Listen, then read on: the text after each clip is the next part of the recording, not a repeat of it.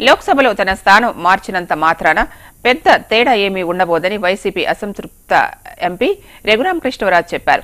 తనను మరో మెట్టు ఎక్కించారనుకుంటానని తెలిపారు.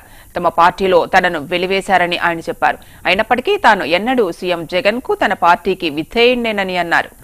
బీజేపీ జాతీయ అధ్యక్షుడు జేపీ నడ్డాతో తాను పలు అంశాలపై చర్చించానని. అయితే అవి ఏంటో ఇప్పుడు చెప్పలేనని రఘురామకృష్ణరాజు అన్నారు. రాష్ట్ర రాజకీయాలపైన జేపీ నడ్డాతో చర్చించానని చెప్పారు. రాష్ట్రంలో శాంతి భద్రతల పరిస్థితుల గురించి తనకు తెలియదని తనకు మాత్రం ఏపీలో భద్రత లేదని వ్యాఖ్యానించారు. కరోనా ప్రభావంతో విధించిన లాక్డౌన్ వల్ల తాను మూడు నెలల పాటు హైదరాబాద్లో ఉన్నానని రఘురామకృష్ణరాజు వ్యాఖ్యానించారు. అయినప్పటికీ తనపై కొందరు కేసులు పెట్టారని చెప్పారు.